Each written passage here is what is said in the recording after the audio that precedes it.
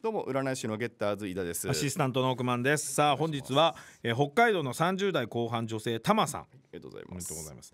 私は保育士をしている39歳です、今年の1月からマッチングアプリで婚活をしています、はい。ありがたいことに初めてすぐお相手の方と連絡を取り合うようになり1月26日に会い食事をしました。数時間あっただけですが温かい空気感があり惹かれています。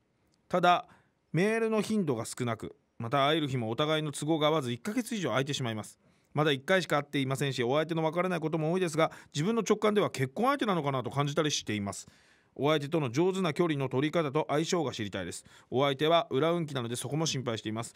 どのようなところに気をつけたらいいでしょうかいやまさにもう裏運気言うてるけど裏側を見てるだけだからこの人この男性全然結婚がもないよ。え？遊んでるだけです。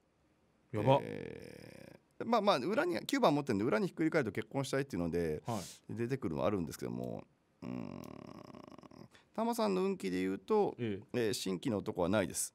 新規の男なし？はい、えー今違います。2020年の9月10月まではすでに知り合ったことある人でこの人じゃないです、えー、2020年9同月。級生か同僚近くの人を一回洗い直した方がいいです洗い直すってすごい。2021年に操作じゃないんだから。一度足を運んでください。現場を。あ現場に足を運んで。あもうそれ操作ですけどね。同窓会か、えーはい。友達の集まりをたくさん作った方がいいと思います。4 4月26だからマッチングアプリが1年前か。はい。うんでも彼がないね。そうそう裏に綺麗に入っちゃってるので。あうん。ちょっとこれは保留とまあまあ根の相性で友達運からって出てる。まあ友達だと思っておいてください、無理に進めようとしない方がいいと思います、うん。